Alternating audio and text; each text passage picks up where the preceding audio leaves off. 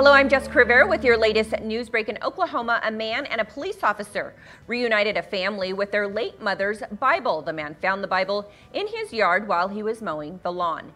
In Florida, a dramatic rescue had to be made after a shark attacked a swimmer when the swimmer got too close to a fishing line. The swimmer was rushed to the hospital in stable condition and is expected to make a full recovery.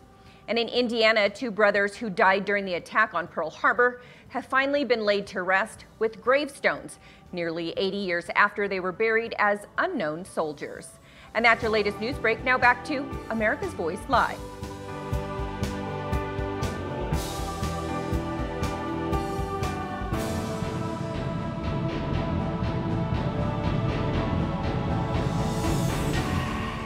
You for that update, Jessica. You may have heard President Joe Biden recently saying America is back with regard to the economy, but the numbers show that jobless claims are actually back on the rise. Last week's numbers showed 412,000 initial jobless claims, and that's up 37,000 from the week before. Those numbers are despite the fact that the Bureau of Labor Statistics is reporting a record number of job openings. Could this have anything to do with some states refusing to stop unemployment benefits? Joining our panel today to discuss, attorney and Republican strategist Amanda Makki, President of the Convention of States Action Mark Meckler, and CEO and founder of StockSwoosh, Melissa Armo. Melissa, I want to go to you first we keep hearing America is back. We keep hearing Joe Biden say this, whether it's in the country or outside of the country. What do you think outsiders are looking into America and thinking right now? I'm not sure what outsiders are thinking, but when you look at the data, clearly there's still an enormous amount of people that are out of work. Now, if you're an insider, if you live here, if you live in the United States, things are not back to normal. They're a lot more normal than they were, say, six months ago or even 12 months ago. But there's a lot of people out of work, and there's specific industries where you can't get goods and services in a timely fashion because they can't get employees in. Whether you go to a restaurant and it seems slow, or whether you go to a beauty salon and they don't have enough people to to wait on you. Nail techs, just all these things, even in New York City, there's so many people in New York City that make the city function and move at a fast pace and keep going. A lot of these people aren't here. Cab drivers, are not back in full force in New York. So there's too many people that are still out of work. And part of the reason is people are getting more money from the government and from the states on unemployment than they would at their job. And that's a problem. Until it's fixed, until they stop giving that extra bonus, I don't see things getting really back to normal. They can say they're back to normal, but they're not back to normal. Mark, do you agree with this? We have legislators in Michigan today saying, listen, if you're getting $40,000 a year to stay home, you're not going to go back to work. And I know for me, for me, I see we have fast food restaurants that don't even open anymore because they don't have enough people. The shelves at the grocery store aren't stocked, and I'm not 100% that's sure that's because there's not enough food, but maybe not enough workers. We see this across the state. Is it due to that extra unemployment? Well, most certainly is. Contrary to what politicians in D.C. believe, the American people aren't stupid. And if you're going to pay somebody more to stay home, then you're going to pay them to go to work, then they're going to stay home. And as long as governments are doing this, and we're seeing this in blue states all across the country, uh, I just literally met with an individual who owns a manufacturing business. He says sales are up 45%, but deliveries are only up 25% because he simply cannot hire the people because the people want to stay home. They make more money staying home. Amanda, when you when you hear this, do you think that this is creating a society of folks who are just getting too used to being at home? Are we going to have a culture of people who think mm, it's just easier to be on the government's tab? We are creating a socialist nation with what we're doing. We're giving people money to stay home. Uh, that's what they do in socialist countries. And so it's unfortunate that we are creating a society of people that don't go to work. In the America I grew up in, uh, people got a paycheck when they went to work, not for staying at home. And that's why we have this unfortunate uh, chain reaction with uh, regards to restaurants and grocery stores and cabs, Uber. You know, it costs triple the, t- the cost of what it normally does to take a ride sharing uh, car nowadays because they don't have enough people. And they're enticing them with all kinds of benefits. There's a uh, pizza delivery uh, restaurant that has delivery in Virginia that's offering $500 bonuses for their drivers. Mm. I wrote about this in the Washington Examiner last month. And, you know, here where I live in St. Petersburg, we're a largely tourism based industry and we don't have enough people to clean the rooms. They're literally giving people hotel rooms uh, that aren't clean and telling them this is the best that we got because we don't have workers who will come to work what is good to hear is that the two states that are uh, have the highest number of unemployment, the highest unemployment rate, California and Pennsylvania, in July, we'll be enacting uh, work search requirements. So that's a good thing. But one thing that I've heard is that people sign up and they don't show up for their interviews. Wow. All right, Mark, I want to go back to something that you said. You were talking about manufacturing jobs. I, have a, I had a headhunter contact me a few months ago and say, We're in such trouble in the manufacturing industry. My first 10 years of my career was spent in a steel foundry. He said, "Listen, we are telling people to live in mediocrity. We're telling them that they should they should spend the rest of their lives at a fast food restaurant instead of start their career there and move on to something else. We have all of these manufacturing jobs where you go in at 19, 20 dollars an hour, can move up, and ultimately a lot of these companies will pay for a management degree if that's what you want to do at some point. Why are these companies being demonized as the worst places to work, and why can't we get skilled labor?" Well, I think there's it's a twofold thing. I mean, one is there's a cultural rot taking place.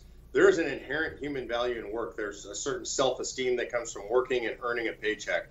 So when we're incentivizing people to stay home, we're destroying their self-esteem. We're destroying our country culturally. But there's also an underlying Marxist ideology that's been infused in our country. It started back in the 1920s it's now reaching its zenith. People are openly talking about Marxism and socialism in America. And when you do that, you're going to destroy the work ethic. You have to demonize these big companies. We say CEOs are evil. We say making a lot of money is evil. That's not the American way. In fact, it's the antithesis of the American way.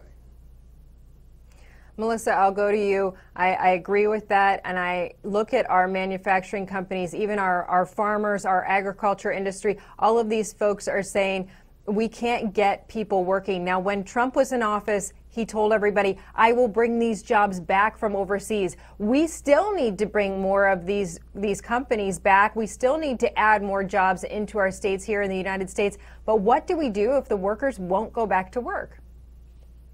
Well, first of all, they have to stop the extra unemployment benefits. But I also want to say one thing these labor jobs, people act like they're they're they're not good jobs. Being a skilled labor is actually extremely extremely important.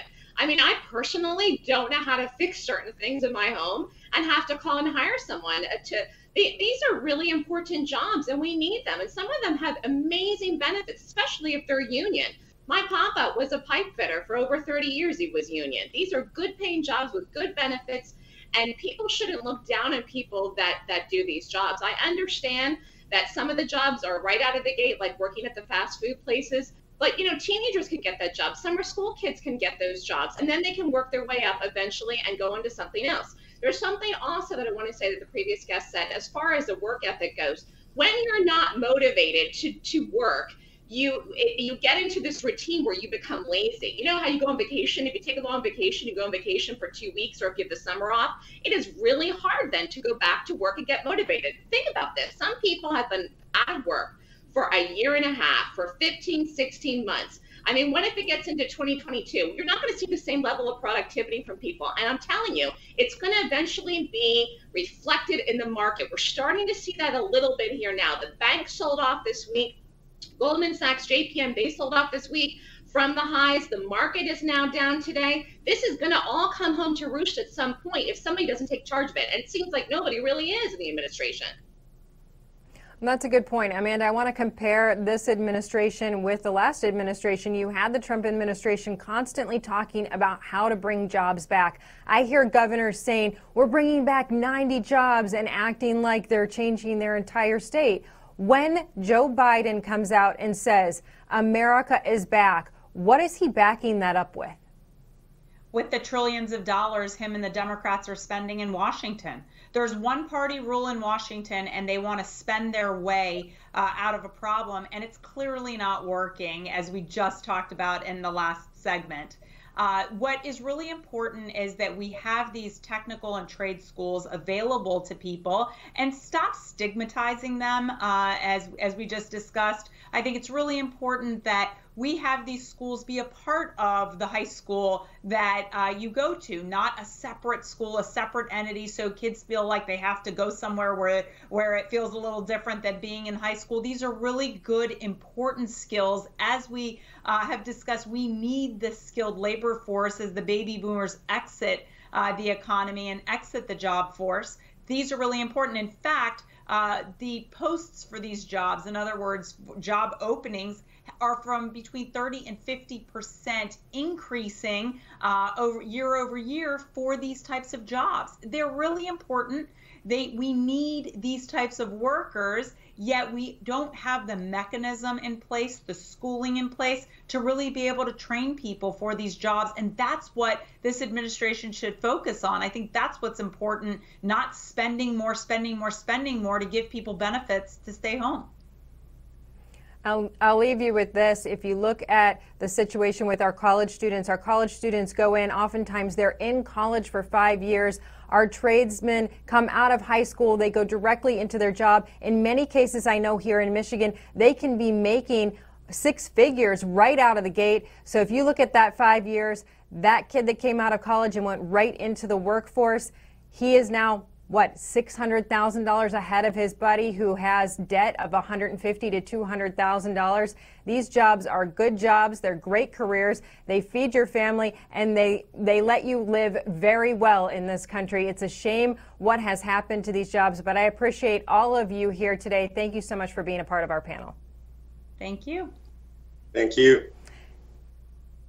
Stay tuned. Coming up after our break, Real America's Voice correspondent Amanda Head will be joining us with her hot take.